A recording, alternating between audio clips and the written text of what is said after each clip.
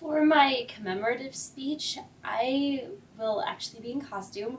I will be doing a eulogy uh, set at the end of the Arkham City video game. Uh, Harley Quinn will be doing it for the death of the Joker, which came as a shock to everyone.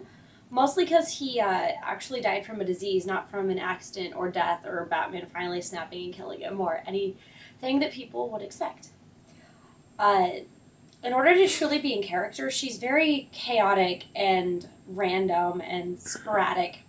So it's really hard to kind of structure it, putting points together because the purpose of it is to have like that there's not really a structure that nobody really knows why she's so in love with him because it's an extremely abusive relationship so i'm going to have to really put in a lot of work into kind of a scripted spontaneity instead of like complete structure but the main purpose is that she's completely in love with him mostly because it's the only man that's or person for that matter that's ever really paid attention to her so that's kind of the whole point is that she's convinced the rest of the world is going to miss him because she wants everyone else to love him as much as uh, she did.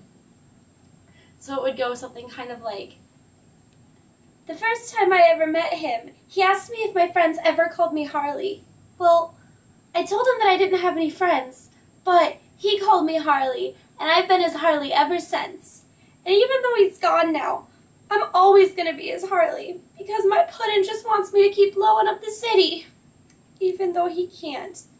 I can't believe that dirty old Bats never saved him, fixed his blood in time. Damn Batman fixed his own blood.